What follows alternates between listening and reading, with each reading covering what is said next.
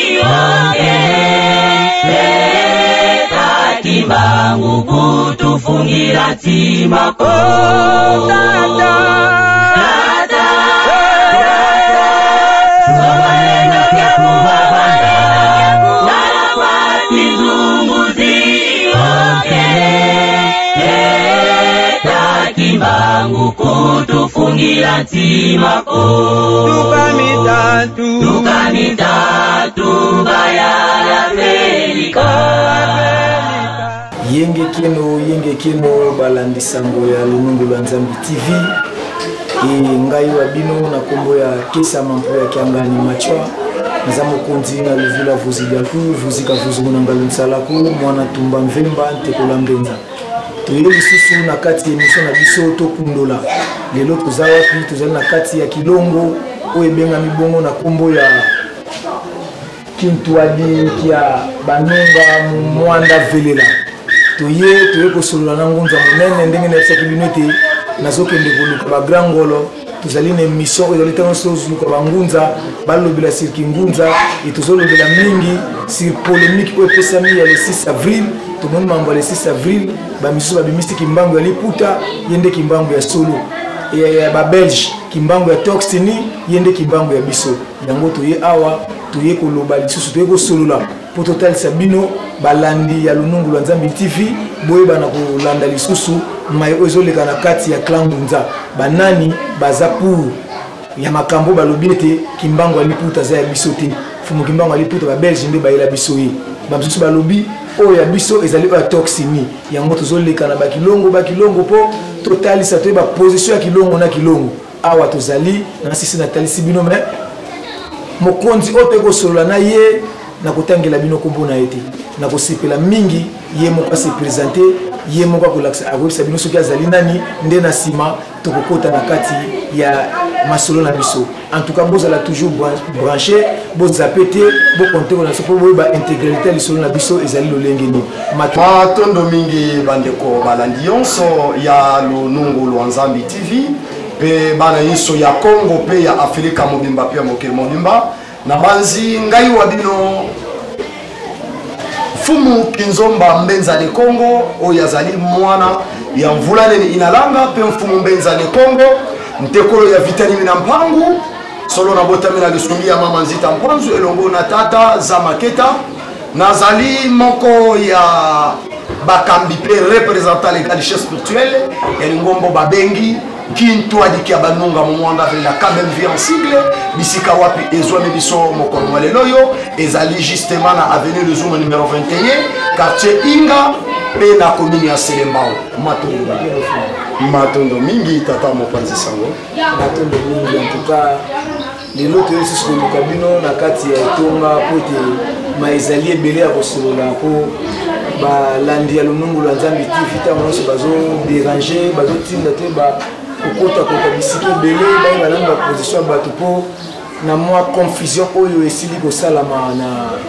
mokili uta tozwaki likambo ya le 6 avril yambo tobanda tolingi totuna nano tumwa ntango bino boyambaki sango ya le 6 avril esalaki bino ndenge nini koyoka sango wana matondo mingi tata mokonzi sango na banzi vraiment ezalaki satisfaisant sur des choix koyoka mokolo le 6 avril ekoma journée chôme epuis paye pourquoi ntango tokoti na l'an 2023 kolandisama kalandrie ya bandeko na biso bagreke ne ya barome biso tata kimbangu apesaki biso teme moko tobandaki kolobela banda mobu na mwa ya liboso tobandaki kolobela la restitution de mvuluzi kimbangu la restitution de mvuluzi kimbangu koloba na lokota na biso botiei kimbangu na esika na ye donc tobandaki yango banda na sanzi ya liboso na mois de janvier yango ete tokóma na avril tokoya koyoka mokonzi ya mboka arestitue mvuluzi kimbangu atia ye na esika na ye me biso tobandaki yango deja banda solo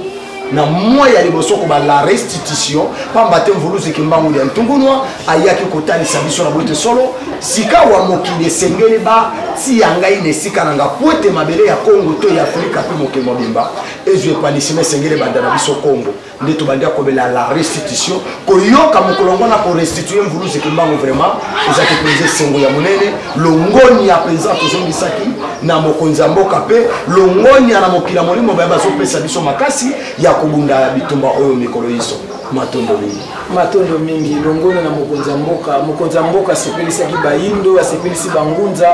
asepelisi mpe milimo ya baye oyo babundaka mpo na likambo oyo lelo biso tozosala lelo parce pamba te bakoko basalaka yango ya kobombana na biso lelo tozosala yango en plein air mais ntango mokonzi ya mboka asepelisi bangunza kaka na kati ya clan ngunza tomoni epesi deka bamisusu balobi ete kimbangu oyo bayela biso oyo aza na nsima na biso tozomona kimbangu alata liputa azali kimbangu ya babelge bakosa biso eza makambo bayokanaka na bato moko boye mpo bisa kimbangu ya lokuta boyeke no ata tokolobela kompa kimbangu me ezala ye te kimbangu ya solo ezali oyo azali toxini babilimi na ye mpe ezali nayebi te mpo na bino ata kingunza boza na kanini boza na kimbangu ya lokuta to kimbangu ya toxini matondo mingi tata mopanzi sango na banzamvuluzi kimbangu lya ntungunu azali na kan moko te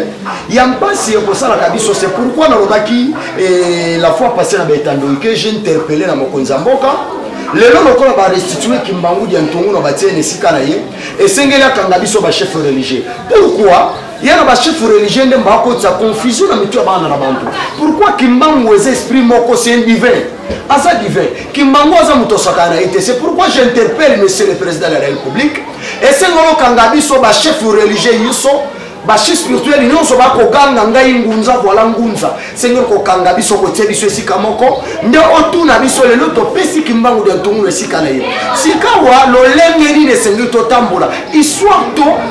maye nini bokoliesama tokolandisama mvuluzi kimbangu dia ntungulu pour que mambo tukoloba vraiment nalandaki yango na bokebi na baetandoike mpo na kobana botela différence entre mvuluzi kimbangu oyo tomoni na nsima na biso ya liputa kimbangu dia ntungunwa na mvuluzi kimbangu ya torsini tata mopanzi sango ezali mpasi mingi yango nalobaki na kati ya restitution ya mvuluzi kimbangu dia ntungunwa esengeli toyeba kimbangu dans le détail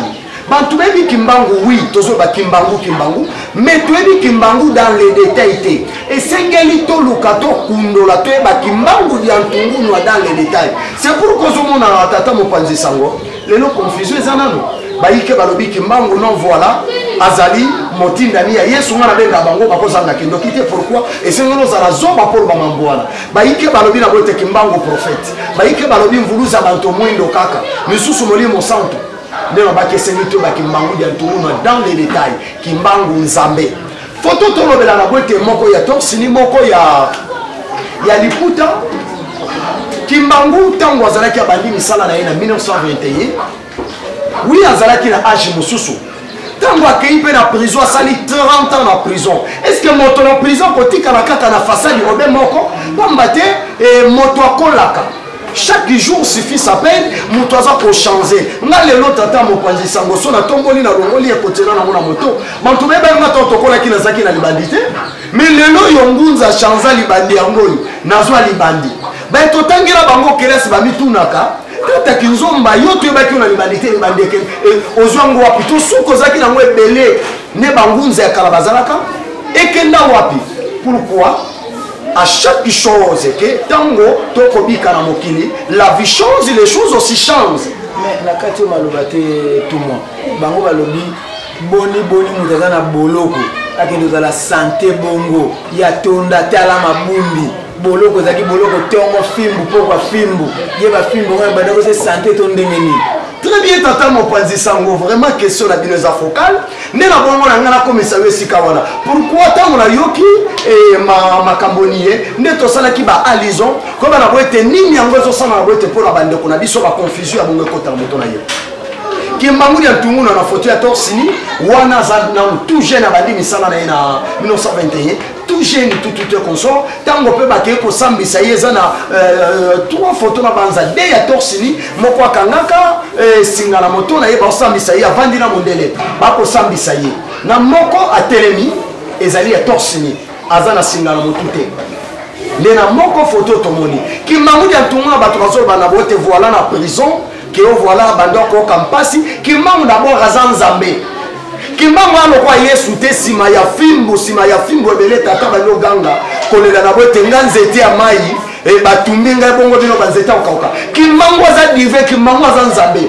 bien kazozwa 120 kodedefoue tongo midi toloko na pokwa mais kimbangu ne cesse pas de lire ya koteya sango elamu epuis kimbongo esengeli bayeba na kati na prison so balobi na bote kimbongo azalaki na sango kimbangu na kati na prison azalaki mokonzi ya cuisine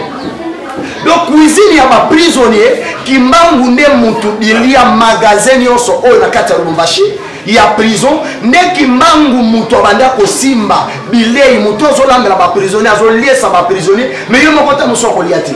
ezala bilei eza moke vola na magasin biloko esili baomonana boye te baprisonnier na boye te bakoka lisusu kolia te mais kimbangu akocreye miracle na biloko ya moke prison mobimba ya lubumbashi bantu baye nde moto ya lolenge wana tokompare vraiment na bato kyoto voila moto aza na prison il a fali akonda moto kutu aza na prison me bamoni ye na belgique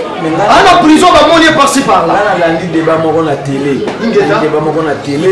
eh, ya bato balobeli sili makambo wana moko atomboli mosaka alobi ke ngai naza mbesi ngombe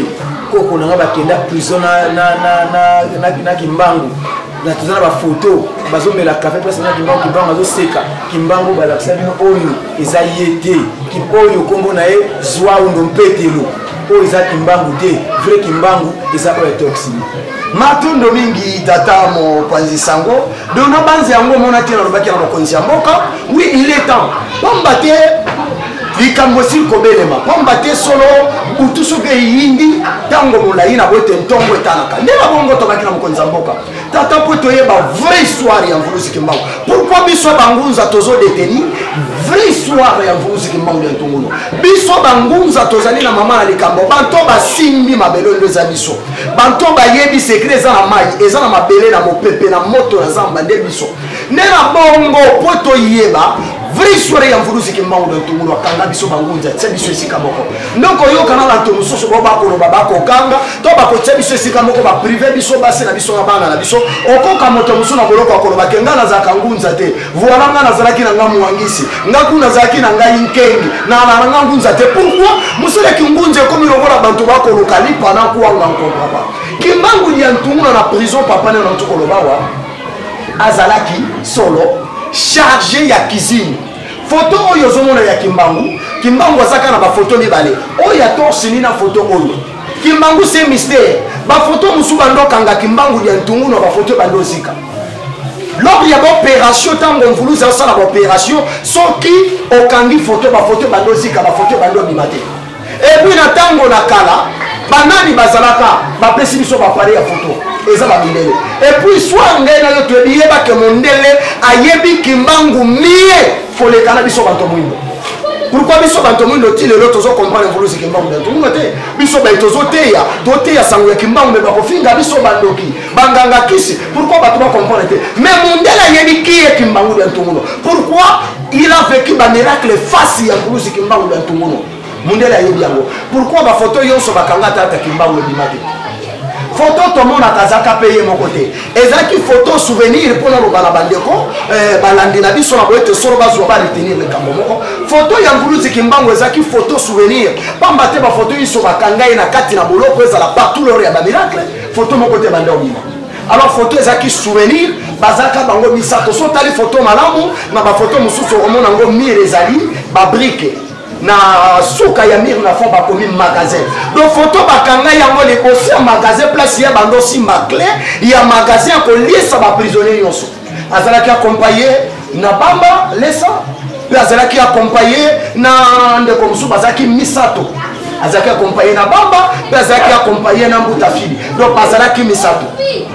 nde batelemaki mibale ye na katikati balataki bakilote nde foto baretire yango place wana elongo na bambuta bamba place bazwi la foto oyo donc kimbangu diantongolo asenga foto souvenir pamba te alingi akende bana na ye lokola na bambalesa nini yango akoki otikela bango esengeli bazala na foto souvenir pourkui bafoto yonso bandoso ya kimbangu ebando omonana te nde liboso ya magasin place ya bando simba cle ya koliesa baprisonnier mokolo mosusu bameki kolongola kimbangu na magazi ya prison baprisonnier moto mosusu alambela bango simba bilia mpo na bango ekoka te na prison nde bamona bote bozongisa kimbangu na ntungo na so boluka guerre te na kati ya prison bozongisa kimbangu na esika na ye ezala bile eza moke ye na misere na ye antake nzambe asala nsorte ke prison mobimba balie nde bakoloba na bote kimbangu kimbangu azalaki moto ya mpasi te na ye na kati na prison mokonzi ya baprisonnier donc tomo soki nalandi bien na ndenge bozolobela bino bozoconfirme te kimbangu kimbangu ya liputa bazoloba lelo aza vrai kimbangu oui très bien vrai kimbangu mpe foto ya kala oyo ya torseni obe eza ka ye moko notokola kiso libaya bolenge foto ya bolenge foto ya bompaka parce qu'il a vécu 30 ans de prison na prison ntango avandi na bango opere bamiracle na 1921 nde miracle na ye esala kaka monsieur kimbangu lelo bato bayebaka to eningisi mokili mobimba misu ya kimbangu esalaka simwa simwa ya pamba na village de nkamba me eningisaki mokili mobimba voila na bapito bambeto etikali vili na bamagasin bato basomba su biloko te voila na baare ya bisi bato baza lisu te tout le monde se prespite au village de nkamba misu wana edilaki kaka simwa ya pamba nde ngonga ya ebele alekisaki yango na nzela na boloko 30 na prison nde tobi na boye te foto ya liboso ya torcheni eza foto ya bolenge mpe foto ya mite me mvulu zikimbangu diantungunwa pamba te papa mopanzi sango na koloba eloko moko boye songolo mpakala oyo kopesa mpe nini makasi mpe na balandi na biso ezali nini biso boye omoni moto nyonso alandaki kimbangu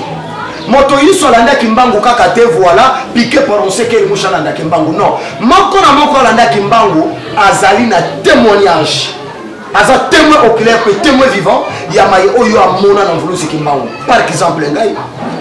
mosolo nayambi lelo solo nake kozwa na nsima ya ndako te mosalo nayambi lelo solo naye mpo naluka mbongo te me mosalo nayambi lelo oyo nakutani na mvuluzi kimbangu ya ntobi nakutani na mvuluzi kimbangu ya tungu napesi nga mosala ngai boye na mpongi ya kolala mpongi eza te kolali mpongi ozolota na ndoto mais visa moto abimela nga apesi nga ya mosala lelo arekomande nga pamba te ntango na bandi misala ekamwisaki bato babitata oyo osepa nini alime ye nini ekomisi ye boye pamba te biso banso batata baboti biso na mangomba ya, ya yesu baboti biso na mangomba ya yesu bozosangisa kimbangu na yesu me ntango baye koretire biso na mangomba ya bambeve mu yesu kimbangu ye moko fasafasa na ngai boye nalali na mbeto na ngai fasafasa ya kopesa ngai mosala lelo oyo ti lelo mosala oyo ngai nakosalaka oyo ezomema sango parci parla mosala oyo nkuluzi kimbangu ya ntungu bapesi ngai sikoyo moto ya boye oyo akutana na kimbangu aye apesi ye mosala aza temo oculaire ya oyo mayamona yo koyebisa ye non voilà kimbango yo ete voilà azali ndompeto est ce que tata mopanzi sango est ce que bakondimela yo tumwa nga naza na bantumwa oyo nabengaka bantumwa ndenge nazobenga yango tumwa basali ba 15 ans ba 12 ans ba 20 ans misusu kutu ba 30 ans ingeta balobi balotaki mbangu bamonaki mbangu baloba nyonso baloba simvuluzi fumoni mbangu dia ntungulu mais lelo base bakomi na bacomparaison wabi omoni soki mpe totali bien soki vraimen ozwi foto oyo atoxini elongi oyo na elongi oyo bakozala na bango mpe na raison nga mpe foto oyo me otuni ye tumo yo ndeko obandi misala ya tata kimbango combien d'année déjà 30 ans combien d'année 15 ans combien o 18 ans combien 12 ans me bango mpe alobaki na ebandeli mpe alobaki tata kimbango moto aya kopesa bango misala mosiko esengeli otuna ye molimo eya kolakisa yo molimo ebimelaki yo sete ezalaki elima donc aza sire na ye te pourkua ndenge toza boye chacun sa position moko na moko andimela kimbangu tala kimbangu akenda ozwa bantu na balabala bo bayebaki ye te lelo bayebi mvuluzi kimbangu ya ntunguno moto azalaki na makambo ya motendo na motendo moto azalaki na makambo dokondima te lelo yo nde bato kimbangu alata sikoyo tuna ye ngunza to ntumwa sikoyo molimo ya kolobela yo donc ozodute na molimo oyo yo omona tozodute na mbeve oyo eyaki kotwalisa yo na boye te mosala oyo ya kosala donc mbeve wana ezalaki ya lokuta donc mosala nyonso yo asalelaka biso na carrière na ye asalaki mosala ya lokuta na carrière na ye ovoye donc wana eza baconfusion totale bazotia na mito ya bato biso tobengi yango eza monde imaginaire omoni moto soki akoti na monde imaginaire ekoma mpasi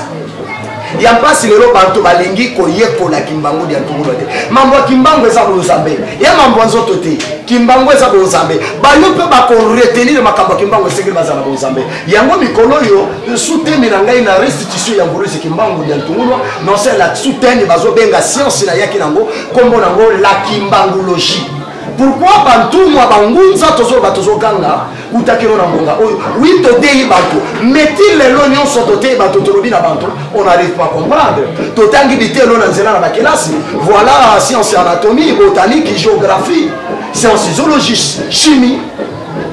epesi biso eloko te lelo oyo po ete bana ya kongo totongoma tokoma pays prospère oyo tolobaki toganga na mibu kongolelo na tokoma te esengeli na boye te toyekwisa bantu science ki etudie mvuluzi kimbangu ya ntongono totika makambo nyonso oyo ezangi ntina totangisa bato science ki etudie mvuluzi kimbangu ya ntongono ya nkombo nango la kimbangologie mpe toisuri à la tete du pays l'idéologie kimbangologique nde na bongo les teddy de mvuluzi kimbangu ya ntongono Pourquoi totangi géographie, totangi science anatomie botanique ça n'a pas tenu. Le loba docteur babimi mais bato mayele te. Bizengi bango wana basala na parole mo moni moto pena na si ya cravate. Mais moyi ya mbongo. So tali la plupart ya bantor bana batangi si bango basango. Nde na bongo eloko te. Mais fumu ingeta. Mvuluzi eh, fumu kimbangu ya tungunwa aza molimo. Ingeta. Parce que bino botangisa ye na musuni to na molimo. ingeta matondo mingi me molimo esengo oyo batata mopanzi sango molimo batangisi yango moni molimo ezala biso na kati na matonga moto azwaka mpeve ntango aza kotuntuka ezali na bampeve mosusu ezali bampeve ya mawoyela mosusu eza bampeve ya ndwenga alors ntango yo ozali tata ya molimo esengeli oyeba kotangisa mpeve bakoteza na ntango na kala tata kimbango to misala ebandaki atangisaki bato molimo molimo batangaka yango bonzambe batangisaka yango eza likambo moto abotamaka na yango me esengeli azwa encadrement yango monaki na ntango na kala banemanata ludi babandaki koya kopesa bato bainstruction lolenge nini bakotambolela ntango nzambe akeli moto yo ya yambo na mokili na biso akeli tata nzala mpanda na mama nkenge lofuma bazalaki na bainstructeur donc babenge bango banemanata ludi Bambasi, bo bandaki kopesa kwa kopesa bitelo. Tango bango bazui bitelo, bitelo wana ekomi sikoyo France mesili. Que signifie Manata Ludi Parce que net oui va bakisa on le son mais Manata Ludi. Donc Manata Ludi donc ingi koloba na boite azali mwange. Donc momemi misango. Donc biso tobengaka ndenge na lopoto na koki kozwa. Oui ba ange. masi bo bayaka kozwa oyo ya biso makambo bamemela biso yango na mokili ya molimo nde tobenga bango banema na kalungi do bazali bamasi bo bayaka kozwa mai mazali awa mpe bazwa ko euti na mpemba kalunga bamemeli biso nde tobengi bango banema na kalunga bambasi oyo bayaka kopesa biso bandingisa ndenge nini esengeli totambwisa ya makambo yango moni nalobi nango te molimo batangisaka yango so molimo batangisi yango te solo molimo wana okomona ekozala molimo ya ndwenga te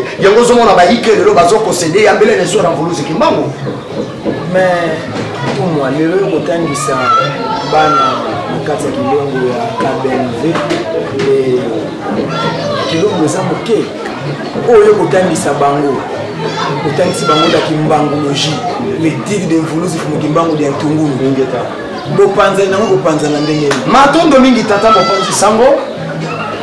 na banzama yango tosololaki yango tokotisi barecour te mpe ya bakonzi ya mboka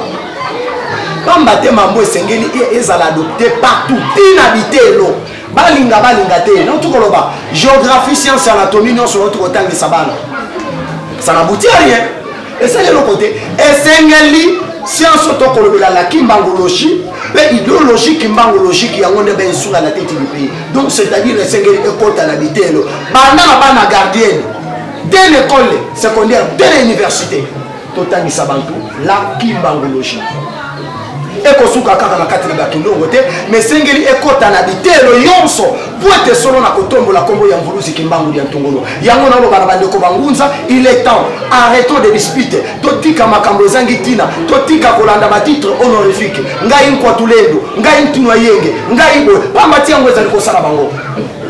yango nde moto ezali kosala bango toloba liloba moko tozala autour d'une table au choc d'idée jaille la lumière soki tovandi biso banso nde tokoyeba kosangisa nzoto ya mvuluzi kimbangu ya ntumu na ekabwani biteni na biteni eza na ngambo eza na ngambo ezonga esika moko bokovanda esika moko tandiske baye oyo balobi oyo eza ya babelge ingete oyo balobi oyo ya biso bokovanda ndenge nini bokovanda esika moko ndenge nini misusu balobi bango na bakilongo na bango bakotaka na bango na mapapa ekosala eloko te misusu balobi biso totyaka na biso verni tolataka na biso meshe eza nango mabe te misusu balobi verni te meshe te mosusu balobi diamba eza nango permis shimboki eza nango permis tumbaka eza mosusu balobi diamba shimboki nyonso eza comme stimulant ya biso te ozomona te ke ngunza bozoloba tosangana tosangana me bozosangana mpo bobota mwana nini mwana na bokobota kozala na nkombo nini mpo boza na meme idéologie te bingeta tata mopanzi sango nde nauti koloba bongo nauti kolanse message moko moi j'interpelle chef de l'état banda kokanga biso tous les chefs religieux qui dit on est le ngunza banda kokanga biso fo batie biso esika moko tata mopanzi sango tokondimisa makambo kotombola mokili oyo akanga tous les grands chefs religieux o ngai ntino ayenge ngai roi divin bakanga biso bino a bosalela molimo ya biso balinga biso molimo to babi ntanga molimo si eleka nde ya mpasi yango wana orkebatia bino na bato ya molimo na bato ya molimo wi kanga bango esika moko kanga bango so batie biso na boloko nde koyoka moto mosusu oloba e pardon mbadi nga dayere nazala na nga ngunza te pardon mbadi ngai naza na ngai naza na ngai mwangisi ngai naza na ngai nkengi nalataki bilamba oyo mpo na nzala nayakolite contre euh, famine nde okomona bangunza bakobima na bano ngunza bakobima pamba te na ngongo biso nyonso tosangani nde nao lance defi na mokonzi ya mboka lokola ye na bavision malamu ya kotombola kingunza namoni na bote tata kimbangu aza kolata ye mpe mario azozwa na mokili ya molimo mokili ya molimo nde moto ezotinda ye parceke eza ye te mokili ya molimo moto ezotinda ye mosusu balobi voila ta mosusu loko azoprepare baélection non non non non chaque chose a son temps nga to na bandi te miyo bantu bandimaki te na kindongo ntango bayoki mokolo wana voilà mokolo na le 6 avril badopte yango barestitue kimbangu dia ntungunu wana esika na ye bantu bagangaki pourkui maye okuti na mokili ya molimo moto akata yango aza te siko bino ta bokoyi molimo orke ya yango ete tosala makambo nyonso ebandaka na mokili ya molimo yango ete ya na mokili ya mosolo ntango boboyi molimo allez-y comprendre que bantu ba tambola na mosuni donc bantu ya kolongola mbala moko na nzela ya misala ya mvuluzi kimbangu da ntongono donc baza na mosuni pamba te kimbangu aza molimo ntango yo ozokanga ozokanga mpevi otikali na nini otikali na eloko te donc kimbangisi ezali lingomba ya molimo matondo mingi matondo mingi ngunza tv ezali likambo ya ngonga eh, na bino sikoyo message nini bokopesa na ba ndeko na bino to bakolege na bino bangunza oyo bazokotepatepa oyo bazonana mosusu lelo bakomi depaise bazoyeba te bakende wapi bakende na kimbangu toxini to bakende na kimbangu ya liputa ndenge tata lati bo na nsima na biso bazoyeba te toli nini bokopesa bango mpo boluke mpe bolendisa bango bazonga na kondima ya, bo, ya, ya, ya bosolo mwa toli matondo mingi tata mopanzi sango mpo na bandeko na biso bangunzo ba mikotisi na kati ya confusion vraiment nakoloba na bino na boye te apaisez vous apaisez vous likambo ya mvulusi kimbangu da ntungunwa ezali likambo ya molimo eza bonzambe eza bonzoto te eza bonzambe biso banso toponami epai ya mvulusi kimbangu da ntungunwa ntango likambo moko eye na katikati na yo somoto mokili molimo mpamba te mambo baye nango lelo oyo est ce que mokili ya molimo moto elobi est ce que totuni volonté ya balongo tovanda esika moko balongo balobi na biso nini pamba te biso toza na makasi so likambo ezali ke tokoti na manenga tokoti na mafongo mulusa mbulu ke tobelela mokili ya molimo mpemba kalunga bakoya bakoloba na biso est ce que mpemba kalunga elobaka lisusu te po ete lelo bato bakoma koloba pourkui oyo ezosala bato mpasi bato bakomi monoko ya nzambe donk nzambe tout ce que tu a adiri nzambe mpungu koloba lisusu te biso tobanda kolobela yo nononono ba apese balongola baconfusion na motu na bango kimbangu mvuluzi ya ntungunwa oyo azali torsini mpe oyo azali e, na liputa solo bazali obe moto moko foto ya bolenge mpe na foto ya bompaka ekotisa biso confusion te tosimbini na oyo biso bapesi na katikati na biso lokola nzembo biso na kingunza tobanda koyemba onga simbini na mawa longwe yeye simbini na mawa tambula tosimbini na oyo mvulusi kimbangu pamba te mokili emoni na bote kimbangu alingi ayala nde baye mpe baye na internet akobundisa likabo wana bakoya mpe bakokota na kati na biso ntantu abongwani akomi mbikudi ntantu abongwani akomi nkengi akomi ntumwa akomi ngunza akomi ntino ayenge akomi roi divin tosala keba tozala mayele yonso koyela biso totuna volonti ya banongo tozongola mokili ya molimo nde mokili ya molimo mpe mbakalunga bakopesa biso maye oyo esengeli etambwisa biso matondo mingi matondo mingi balandi sango ya lunungu lwa nzambe tv boyoki ndenge ntumwa kizomba asili kotalisa biso alobi ete ntango nyonso oyo ekoya tozongaka na makolo ya bakolo misala oyo ezali mokili ya molimo mpe mbakalunga bayebana kotalisa biso bango nde batambusaka biso pamba te misala ezali kosala ezali ya biso te kasi ezali ya bango biso eza bamanda te bapesaki biso tokoleka ndenge mpe baya misusu balekaki donk tomitungisama mingi te bino baye botindaki biso toya na kbmv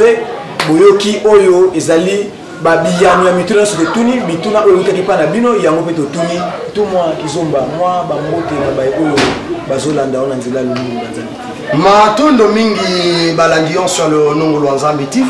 napesi mbote na lisanga ya bangunza yonso ya ville ya kinshasa napesi mbote na ntumu akozi kamalandwa napesi mbote na ya kimpavita itela mobilu ngunza landu ngunza wasevolwa ngunza nzinga ngunza mafuta tikete nzambe ya bankoko na boyete bana kopambola bino napesi mpe mbote na bana nyonso ya kbmv kintoaliki ya banunga momoanda velela mpe molandi na ngai tata malomba maketa nzambe ya mpungu ayeba na kopambola bino matondo mingi matondo mingi matondo mingi tv ezali likambo ya ngonga en tout cas tosili kokokisa etina na bino tokomi na suka boyebana kotikala malamu bozala toujours branche nayebi ete tokozonga lisusu oyo ezali deuxième fois toyawa seke troisième fois ekozala quatrième cinquième fois mpe kozala bambote ebele na bino so balandisango ya nongi ya nzambe tv bambote ebele na mama ndo na itela mobulu kipavita la lion mbote na mbuta macho ya 22e région militaire mbuta yala mbote na mbuta nzangela mbuta mokendi mbuta kiasi e mbote na basali nyonso ya lonungu lwa nzambi mbote na baninga na ngai bapanzi sango sms liso ya banzambe nemakela loboko ya bapapa mazela mama shima mama afrika castro petit david petit mecosto bambote ebele na biso nyonso bakesisa na ngai nyonso ya mbanza nungu na nzambi tv bambote ebele mbote na mokili mobimba embote na le premier ngunza oyo azali bongo papa na biso